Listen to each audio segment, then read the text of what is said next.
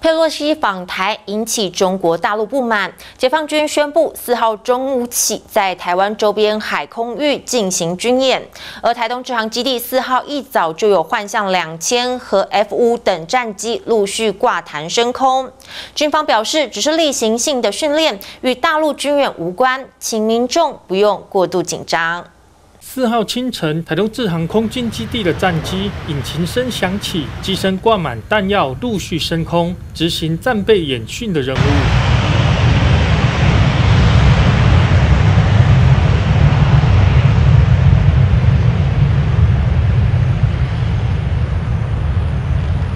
中共解放军宣布，四号中午起，在台湾周边海空域进行为期三天的军演，而国防部也在脸书释出影片。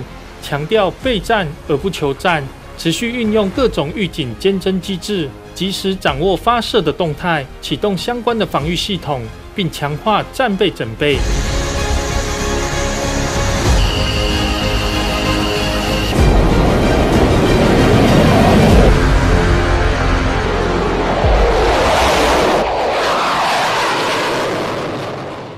国军持续进行例行训练。强调与解放军实施军演无关，也请民众不必过度的紧张。